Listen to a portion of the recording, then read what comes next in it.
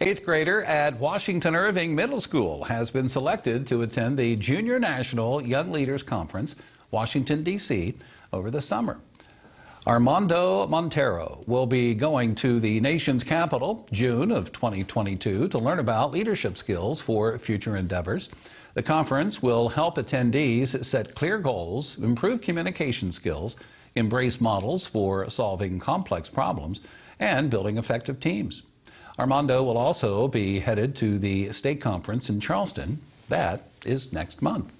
One day after school, my mom told me that uh, I got invited to this thing and that uh, I was reading it, and my homeroom teacher nominated me for it, and that's sort of how I found out. And he also says that he's excited about sightseeing in Washington, D.C., as he's never been there before.